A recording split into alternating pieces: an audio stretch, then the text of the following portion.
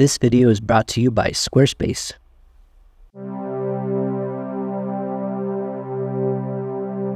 On August 2nd, 2023, a mother and her son, we'll call them Sonia and Chad, were driving northbound on I 15 in southern Utah at a high rate of speed as they were running late to a NICA mountain bike event being held that afternoon. At about 3 p.m., a large truck swerved by their vehicle, clipping the front tire of Chad's 2021 Specialized Rockhopper 27.5, dislodging it from its bike rack and causing it to skid and bounce across the freeway at a speed of at least 70 miles per hour.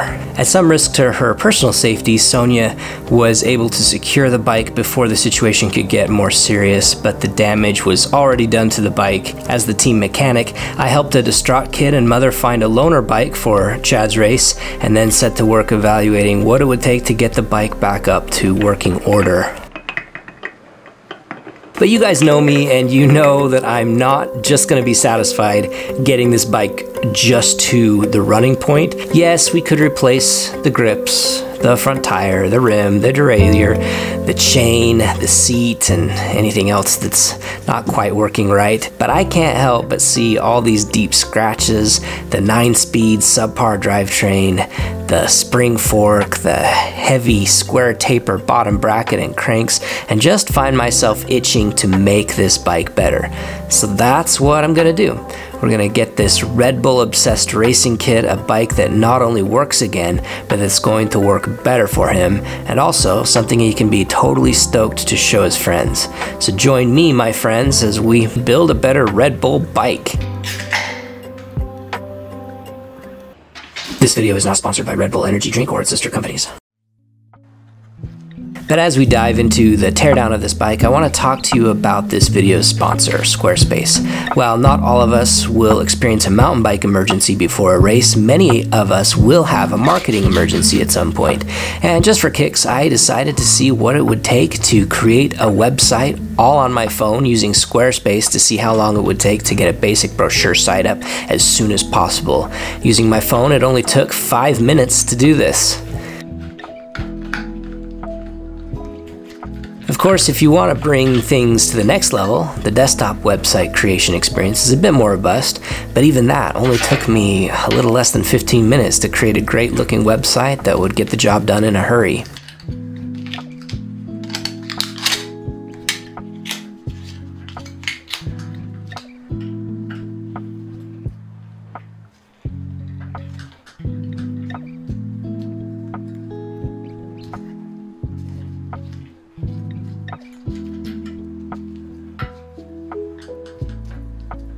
Since I was on a roll, I figured why not see how long it takes to launch some products on this newly created mobile site. I found that I could quickly create a custom product, in this case, a digital purchase of a custom bike build service. And I was also able to get a t-shirt with my logo up on the shop as well in the form of some merch. And all of this was done in less than five minutes. So, for your own marketing emergencies, head over to squarespace.com slash buildabetterbike to try Squarespace for free and use the coupon code buildabetterbike for 10% off when you're ready to buy.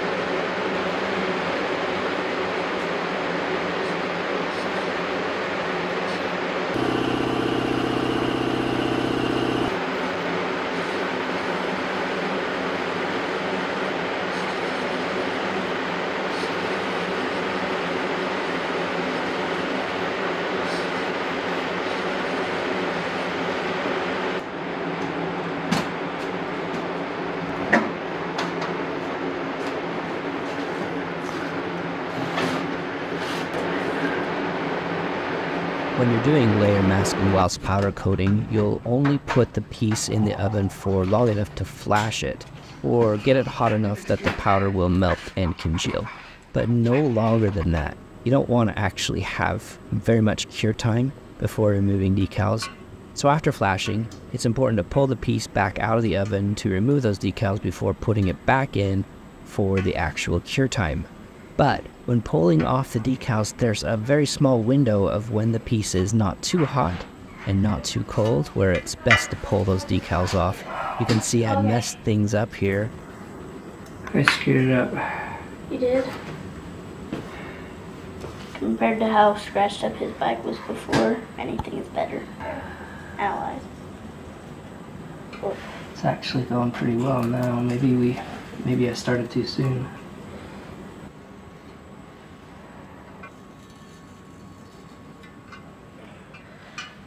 Did you already do this? Oh. No, other side. Let's do the other side. It's harder when it gets cooler, yeah. That looks really good though. And the reason was, is because I got a little impatient and didn't allow it to cool quite long enough. Oh, in general, it's better to let it be too cool because during this phase, you can actually use a heat gun, a blow dryer, or just put it back in the oven for a few seconds to get it hot enough to continue to yank those decals off. I just didn't wait long enough.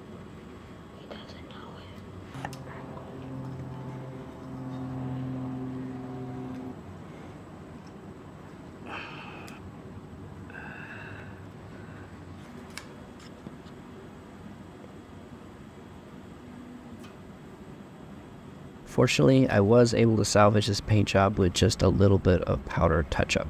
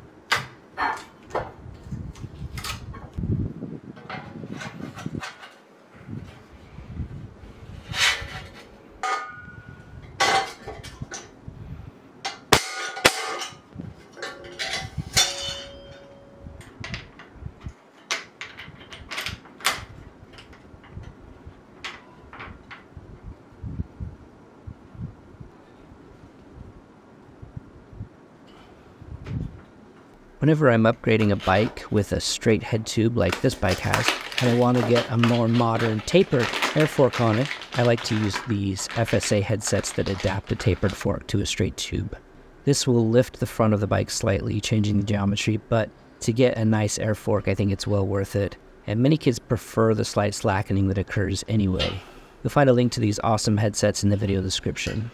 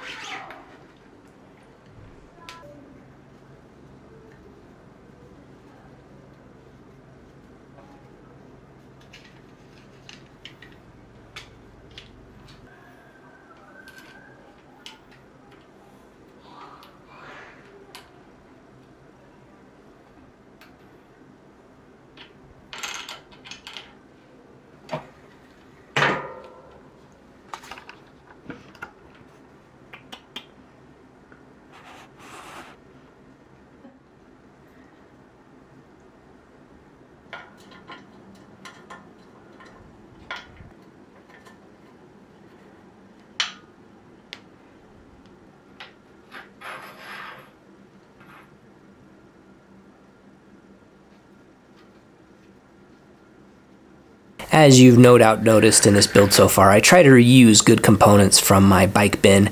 Usually components pulled off maybe higher end bikes where the customers have upgraded and I've asked to keep the parts that they aren't going to use so I can pay it forward on bikes of kids who can't afford the top of the line stuff. And also so I don't have to dip into my own funds to always make these upgrades and these builds. That helm fork is a great example. I think I've used that fork in three different builds now for kids who were able to get some use out of it until they were able to finally get upgraded bikes and then return that to me and pass it on to the next kid who can benefit from it.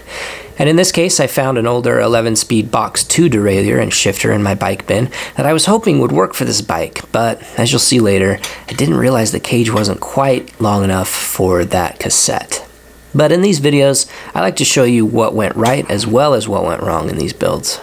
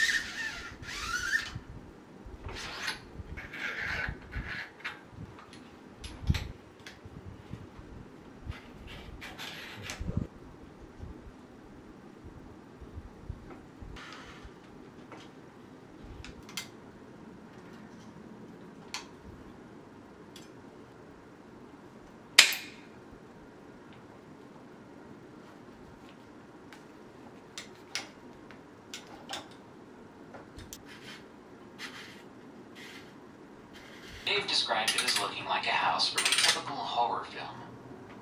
After they went inside, they've looked in the living here. Ed said,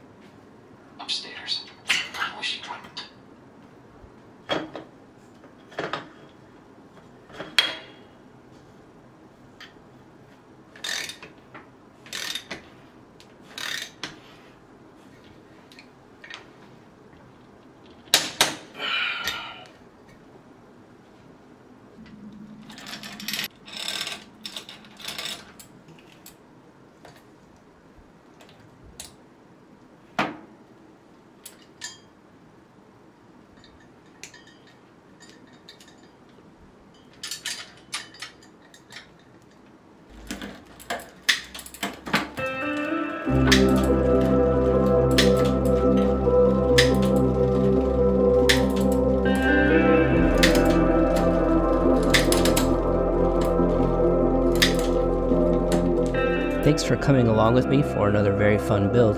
I hope you enjoyed it and I'm grateful for all your support, which allows me to help kids ride more. Stay tuned to the end to see this boy's reaction, and remember that if you want to support this channel, as well as get ad and interruption free viewing of these videos, as well as early releases, subscribe to my Patreon. Thanks for watching, and we'll talk to you again real soon.